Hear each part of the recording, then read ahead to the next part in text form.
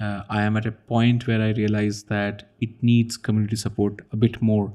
Uh, I about 90% of my viewers do not subscribe, and I want them to actually subscribe because it doesn't take anything away from you. Yes, the fourth Z9 update is actually a rebirth of the Z9. It is a Z9 Mark II. It is incredible to see what Nikon is doing with the platform, the Z9, um, and the capacity it has for almost sweeping tremendous updates. Firmware 2, firmware 3, and then now the fourth one. This is what we have seen with auto capture is uh, is nothing sort of miracle because I would I would go on to argue that in a lot of people said that when Canon R3 introduced the eye tracking feature and it doesn't work with most people's eyes, with a lot of people's eyes, I won't say most. Um, this technology from Nikon actually defeats that. First of all, using the Canon R3, you could be someone whose eyes are not actually recognized by the R3.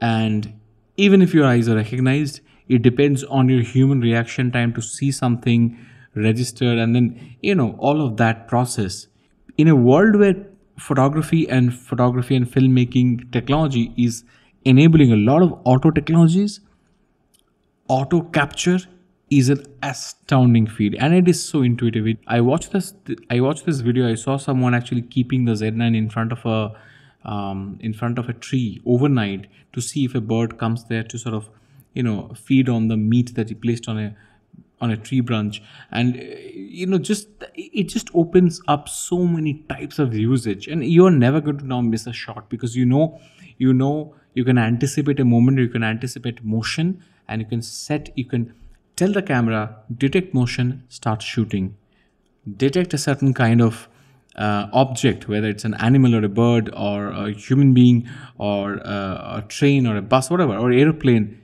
the moment you detect it, capture it.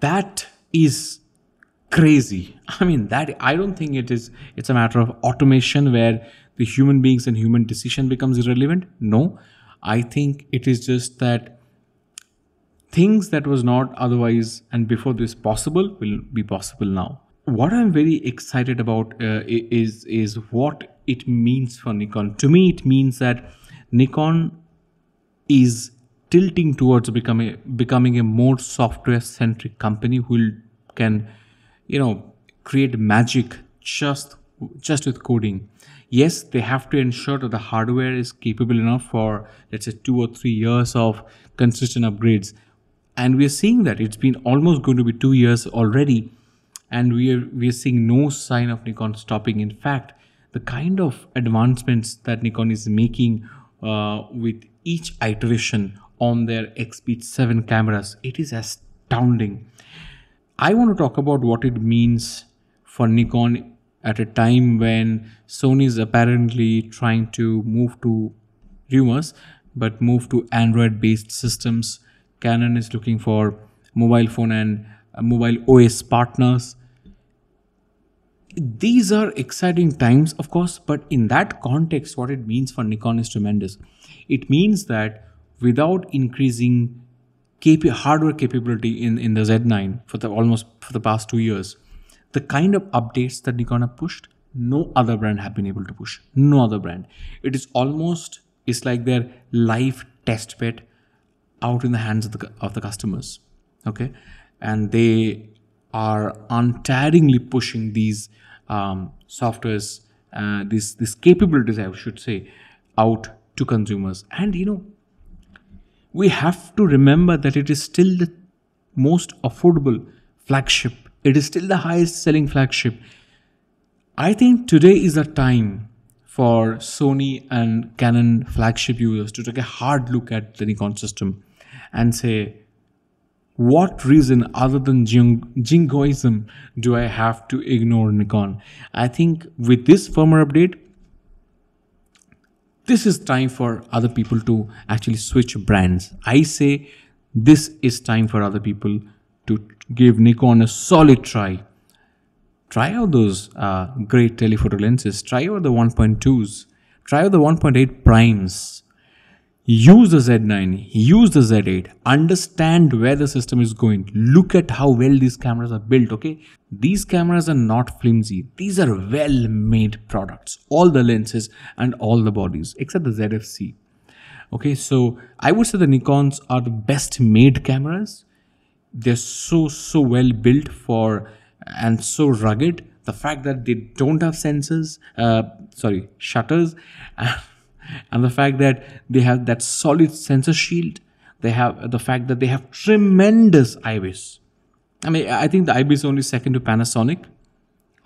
Um, when you look at all of these things and the color science and the files, the dynamic range, the flawless skin, skin tones, I don't know, guys. I think today is a time when yesterday was the date when Nikon did it and i think mark my words it was a it is it is it marks nikon's comeback. The firmware 4 for nikon z9 marks nikon solid comeback. It is even greater than the z9 itself. I am calling it the z9 mark ii in fact you know let canon come back come up with the canon r5 mark ii and i i know my z8 will compete with it just one push of a firmware and I think we are not seeing bug fixes. We are not seeing minor, small improvements. We are seeing whole camera worth of upgrades being added to the camera. And yeah, if you ask me after buying the Z8, after seeing, in I, it, it, you know, when uh, the Z8 came out a few weeks back, and people started saying, "Oh, uh, do you feel cheated that you have to pay so much more for the Z9? Well, you guys, you know, Nikon is there to take care of you. A flagship is a flagship. Yes, the Z8 doesn't have these capabilities right now. The Z8 will probably get some of these, but then we had to wait. The Z8 buyers, we had to wait one and a half years, almost two years, to get uh, to own something uh, close to the Z9 in the form of a Z8, right? So in this case as well, we'll, we'll probably have to wait a bit more and that's that's the difference.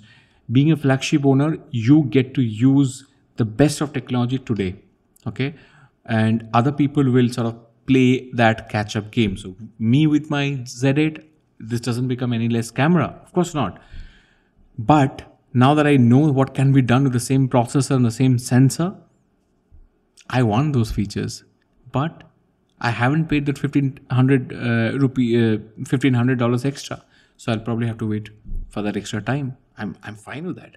Meanwhile, if you're a Z9 owner, congratulations, you made you made I think one of the best camera choices in the last 30 years. I think the Z9 today, the Z9 Mark II today, is decisively the best camera in the world, starting from performance, battery life, video capabilities, autofocus. I mean, the usability. I mean, oh my god I think what Nikon, great going, great going. Please keep this pace up. Don't think uh, that firmware 4 has to be the last one. If Z9 can be pushed forward so much, keep pushing. Because essentially, you don't have to invest in a completely new camera model and, you know, um, make investments in new designs and all that. If you're able to keep upgrading this camera and keep taking market share from other brands with the same hardware, you make money out of the same manufacturing process. So it makes sense for Nikon to keep pushing the limits of the Z9 and the Z8. I am so excited for the future of Nikon. I am so excited about the Z6 Mark III and the Z7 Mark III, and I know there is going to be a ZF. I'm excited about the lenses that are to come. And I think now that you see Nikon leaning towards making software based solid solutions, I think Nikon may actually launch a studio software. And I want them to launch a video editing studio software where they can compete with some of the features that Sony offers with their version of the software. Um, I think it's called what? Uh, Catalyst Browse. I want Nikon to do that because today is the time now is the time to hit hit the market hard with these capabilities i think the cameras uh, today need platforms, software-based platforms, and the cameras can become there. There has to be force multipliers and softwares on on mobile phones, softwares uh, on a web-based platform for editing and other value addition are the force multiply multipliers that you're looking at. Okay, and I think that's a uh, future that's the way forward. Okay i didn't have a script so i might have stuttered and stammered a bit. Now if you like this content please subscribe and i'm going to talk to you a lot about a lot more things that are coming. I'm working on on the 12 to 28 dx um, lens review. You're going to see that in the next few uh, days. Also i've had a very enriching conversation uh, with photography discourse. I'll put a link down below. Uh, a few days back i'm going to edit and put that video up if you want to help the channel grow there's a thanks button. And i am i think for the first time in the history of this channel i am being open about it because i want to be able to sustain the channel. Uh, i am at a point where i realize that it needs community support a bit more. Uh, i about 90% of my viewers do not subscribe and i want them to actually subscribe because it doesn't take anything away from you. Um, and secondly but very importantly i have put the list of my favorite cameras down below and favorite gear down below. Uh, if you think you're uh, checking them out, do check them out uh, at no extra cost to you. I'll probably get a commission out of those products if you happen to buy them. Even if you don't buy them, uh, it just uh, it tells Amazon that yes, people do come to the stores from my channel so they don't take the uh, that that uh, you know i think this program this affiliate program away from me I tried to run the affiliate program a few months back as well, but then I think there were not enough clicks, so uh, Amazon closed the program down for me. I I re requested, and then I have the program back on again. And if you feel like just checking out some of the things, my favorite gear, some of my favorite gear, click on the links and just uh, even even if you check them out, that helps me. With that said, I'm very excited about what the future looks like for Nikon. I'm looking forward to that 200 to 600 very very curious about it. Um, my experience with the 100 to 400 4 and 400 uh, 4.5 and the 500 pf has been amazing. Shooting outside shooting birds. I am looking forward to the 200 to 600 from nikon. I'm looking forward to actually using adapting the sony 200 to 600 a uh, few weeks uh, from now and using it on the z8 and i'm very very very like i'm like i'm just lusting after, after the z9 right now if you can uh, get the z9 by begging borrowing or stealing. I'll probably get one and uh, and, and try and experience uh, the new z9 mark ii for myself. I'm going to see you very soon with another one